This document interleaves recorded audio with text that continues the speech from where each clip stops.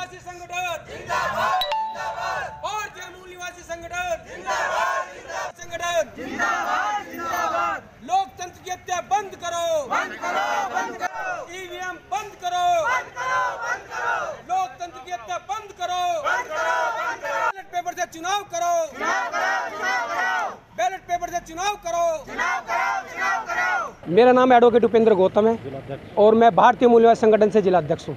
क्या मांगे हैं आपकी? हमारी मांगे हैं कि जो लोकतंत्र के अंदर जो चुनाव प्रक्रिया थी, मत पेपर से, बैलेट पेपर से चुनाव होता था, जिसमें वोट डालने वालों को पता होता था कि मैं अपनी वोट किसको दे रहा हूँ। उसमें पारदर्शिता रहती थी, उसमें रहता था कि भाई मुझे संतुष्ट होता था कि मैंने अपना मत किसको दिया।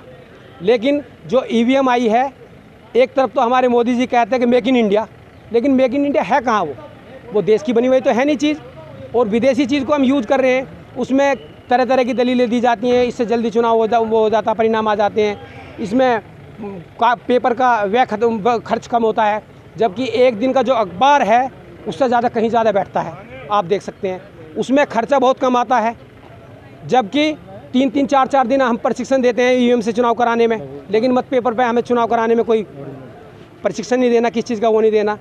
इससे, क्योंकि सभी पार्टियाँ देश में जो मैं क्या मानता हूँ कि 70 परसेंट लोग ईवीएम का विरोध कर रहे हैं। वो चाहते हैं कि ईवीएम के खिलाफ जाकर यानी मतपत्र से ही चुनाव हुए।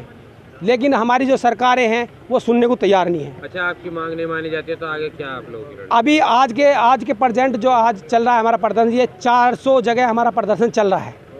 अगर हमारी मांगों पर ध्यान नहीं दिया गया अभी तो हम कम संख्या में लोग आए हैं। अभी तो हमने ज़्यादा वो, इसका वो नहीं करा था, प्रचार भी नहीं करा था। हम चाहते थे कि पहले अवगत शांति रूप से कराएँ।